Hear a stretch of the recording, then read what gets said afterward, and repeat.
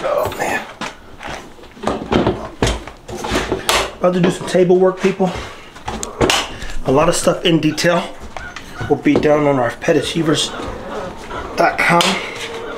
The dogs have shown some behaviors I don't necessarily like. Uh, the puppies, to be clear. But when you see an opportunity to better your dogs, better your program, take advantage of it by simply doing the work. We're gonna do the work. But uh, we're going into Sunday. Today's Sunday. Tomorrow the dogs turn eight weeks old. Let's talk real quick. Two things that are changing. I said before that, uh, you know, by now you guys gotta know. I don't reply to comments. I appreciate the community of people that we have and those that are in support of our growth. Uh, if you are, try to find the nicest way to say this. If you are African American and you are inspired by what we're doing, for one, thank you. My goal is to make sure that you become an inspiration to your own life. And let me uh, paint a vivid picture here. I get messages at times with people. Swatch up, Bubbles. Thank you. Uh, I get messages at times from, you know, my people, and they'll send a nice, send a nice, hey, y'all.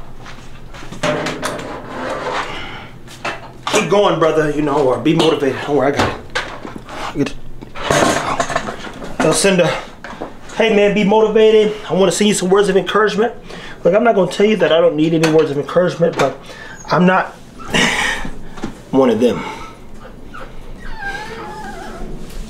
And let me be clear. Someone asked me years ago, they said, hey,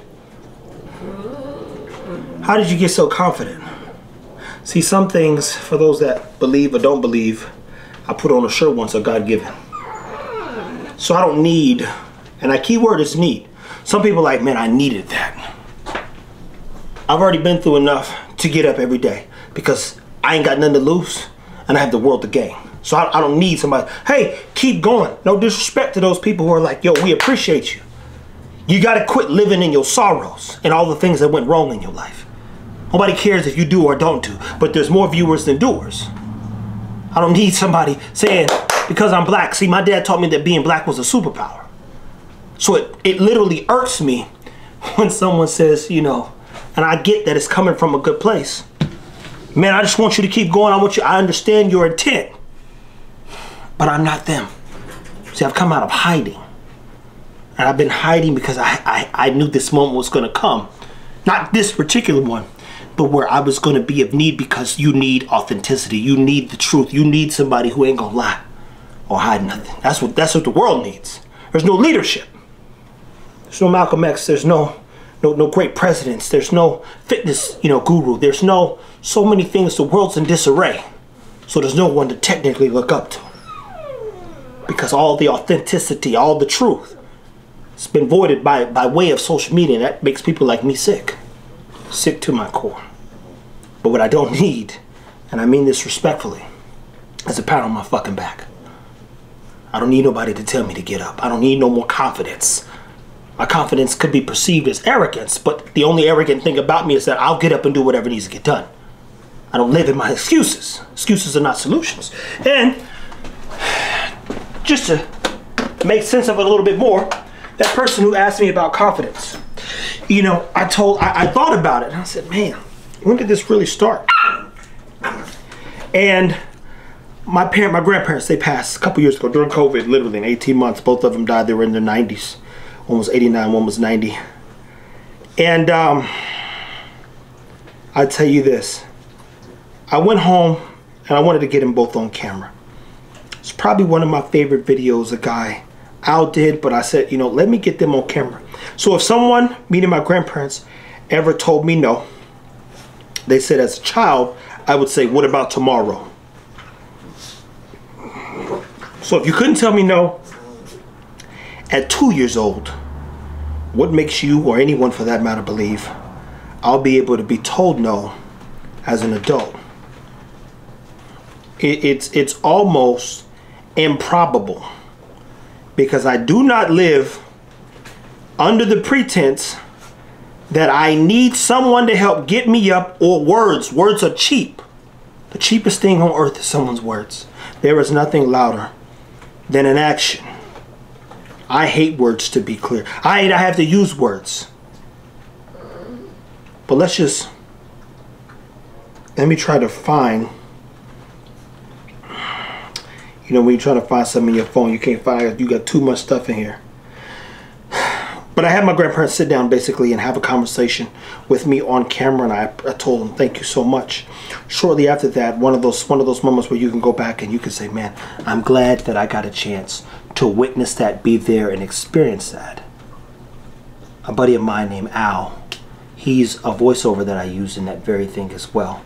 But objectively, as I'll find it at some point, and it might not be today. So when you do see it go up, understand it's two 90 year old people saying beyond a reasonable doubt, I'm not one of the people that needed convincing in regards to getting up and being better. That when they said no, I said, why not tomorrow? That if something ever got in my way, like my grandmother said, four years old, she said, I was pushing this boy on the swing and he said, I've had enough. I've always been unique in the way that I'm hard to um, motivated. If I don't want to do something, I'm just not doing it. I don't care what people think of me. I could care. That's why I'm saying. I could care less about comments. I don't care what nobody else is doing. It's a Bernie Mac thing where he says, again, he goes, I don't care. If you're running a real business, the business is based on what the business is supposed to do. And we're running the business here. What these dog people are doing. It's a young man that called me or messaged me the other day. He's probably going to see this at some point. As soon as he, he called my phone, I said, hey, don't don't send me any other page. He says, man, you got to, I just hate what they do with the dogs. I said, who cares? Who cares? The American Bully is not a dog that people actually care about. It is a dog that people are using to be proud of and proud of a way that is egotistical. It's driven by, look at me. I don't want you looking at me. I told you before, my dogs ain't shit. And I do mean that. They're not. They're a step in the right direction, and we have the utmost work to do, to be clear. The utmost work to do. We're at the very beginning stages with five years work and we're not breeders. Over the next few years, we will literally only have tops 50 dogs, maybe in three years. And I just revised the plan this morning, so there might only be three breedings next year.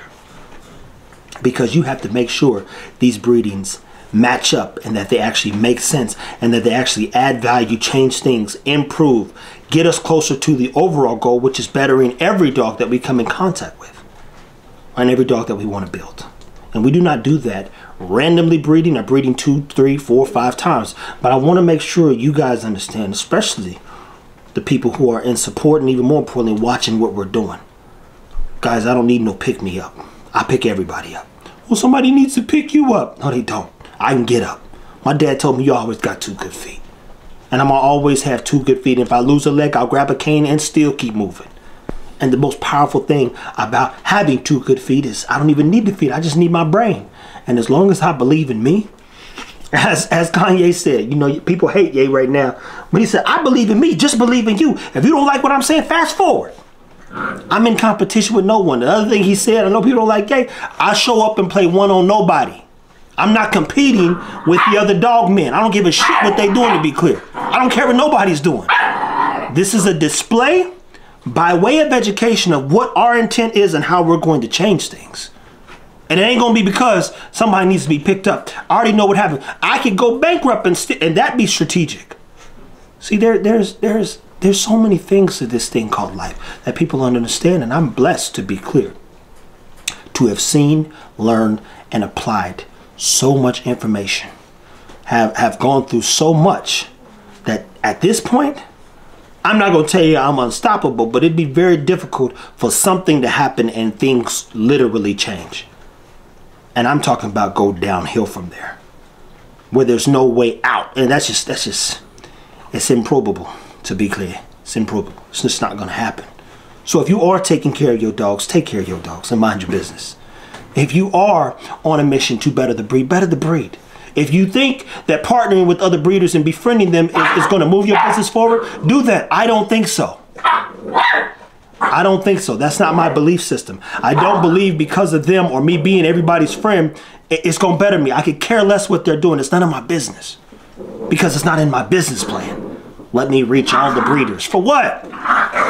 There's a lot of dogs in this world, and as Chris Moore said, we're 1% of 1% of 1%. Over 300 breeds, and the American Bully technically ain't even considered to be a breed. Not by the AKC, and realistically, not by anybody else. It's a composite breed, which means there's all kinds of stuff in there. And that's a good, bad, and ugly thing, depending on how you're looking at it, because the dogs ain't getting better. And that's not to say there ain't some great dogs out there. Let me be clear in saying, I wouldn't know. Because again, it's none of my business. And when you write up a business plan, guess what? You realize what needs, what the business needs to be focused on. And the one thing we don't focus on is partnering with people, knowing breeders, bothering other people's dog, looking at other people's dog. I don't care about nobody else's dogs. That's the truth. It's none of my business. If you can take some of the things that I'm saying, apply them as I don't tell anybody what to do, guess what? You can go on and better your dogs and keep bettering yourself. Someone says, hey, what book should I read? Spend time with your dog. No book prepared you for this life. No book is ever going to prepare you for this life. Half the things that we've gone through in this life, nobody was prepared for. I know I wasn't. And they prepared me for a lot they actually gave me a lot of tools to make sure I stand out, that I speak up, that I stand for something. See what I'm saying? All those things, and it's still not enough. So as we continue to get going, I would encourage you, um, don't message me about other people's dogs. Don't send me other pages to look to. I turned message requests off now so nobody can even talk to me. I took my Snapchat off of TikTok. You can't message me on TikTok. You can't text me anymore. Calls have been turned off. There is going to be a very specific way that you can contact me and all contact moving forward will be done through our website or if you are part of our Pet Achievers Club, our pack. And if you are not, we have nothing to discuss because we're running a business. And here's the thing, as long as we focus on things that help better you and your dog, will always be of, of value. And value is not what we give, or it's not what we have, or what we what we are. It's what we give. And mind you, we're not doing anything special. Somebody said they keep saying, "Hey, you give out so much free game. Look, there's game everywhere. There's no game. It's just a lot of work. It's a lot of experience. It's a lot of opportunity to better ourselves slowly but surely. It's not. It's not free. I do a lot of the work. So what you're saying is, hey, thank you for doing all that wonderful research and helping us help our dogs. Thank you for, for making it make sense. Thank you for for addressing my impulsive buy to get a dog when I didn't even know what the dog is or how to take care of it. I didn't do my market research on the breed. I didn't know what to ask the breeder. And I've got this dog terrorizing my house. I mean, someone messaged me the other day, as I said before, and the dog bit their daughter. So much so that the dog had to be, I mean, the person had to uh, take the dog, the daughter to the ER. And mind you, if you have a defensive dog, or if you get, in my opinion, again, some of the bulldog stuff, what do you think happens? Unfortunately, at times, the bulldog itself is a little defensive, which means it could be reactive. If it's mixed with confidence, aka something terrier style, now you have a dog that will respond versus just re reclude. And if it's not recluding, then it's probably going to cause some problems. And children are what? They're variables that you cannot, I repeat, you cannot control. A child is like a dog, especially because you got 18 years of development to go through. You know what that means? You got 18 years to try your best. Key word. In 18 years, all you can hope for after 18 years of work is praying your child potentially graduates high school, then potentially goes on to college. 18 years of work for two moments. The day they graduate high school, in some cases, the day they figure out what they want to do, which might mean they go through four, six, seven years of college two moments, 18 years of work for two moments that make you feel good as a parent. And I think one moment you hope to never come in contact with is the fact they might go to jail one day because of some poor choices that they made. And then that probably makes you feel like a terrible parent. And you want a dog to be perfect in a year, two years, 18 years for two moments. That's it. College and high school is the biggest moments in some cases that some kids live up to. You know how many people still say I'm the first to graduate college in my whole family? 300 relatives plus some family trees traced back to, and only one person graduated college? Or Some cases, high school. Stop it, guys. You gotta you gotta know where you're going, what you're doing, who you're doing it for. I'm going to find this video at some point, and when you see it in the shorts, you're gonna understand. And I might put it up after the end of this because I just can't find it. I literally can't find it. It's too many doggone videos. It's actually annoying me. But the point is, I wanted to come on here again and say, guys, we have a plan, which most people don't have a plan. I didn't buy dogs just cause. I understand how to breed. I understand how to make sure I, I take care of my team and protect everyone and set them up for success. I understand those things. I'm not guessing. And don't confuse this for arrogance. Simply put, I am not the one who needs this. Things are being perpetuated oftentimes in many communities. I understand what it means to be black. Trust me, I get it. But I also understand, and I don't know when to address it. But I also understand that it's a superpower. And until I die, I will always have a superpower. And I will use that power to empower others. The real key to actually being successful is to empower people. Be it a book, be it your words, be it your actions. And in this case, be it a dog. So stay tuned, take care of your dogs. Never get down on yourself. Don't have a bunch of people around picking you up all the time. Get out of your own damn head. Get out of your own damn way. Quit feeling sorry for yourself. If things ain't working in your life, it's probably because you ain't actually working in your life. And if you are working super hard and getting nothing, that means you're not working smart. And that is a whole nother thing. And some of y'all think, and people in general, hey, these things aren't happening the way I want them to. Why do you think that is? Probably because they ain't supposed to happen that way. Not everybody's going to be Jordan. Not everybody's going to be Tom Brady. Not everybody's going to be Wade Lewis. I could go down the line. Jordan. Uh, I mean, uh, you know, LeBron James. Will you could go down the line. Gates, Bill uh, Gates, Rockefeller, Jobs, Carnegie, Larry Page, Reid Hoffman, Reed Hastings, Peter Thiel. Not everybody's going to be any of these people. But the one thing you get to be is yourself. So be the best you can be, and as always, take care of yourself, and in this case, keep taking care of those dogs.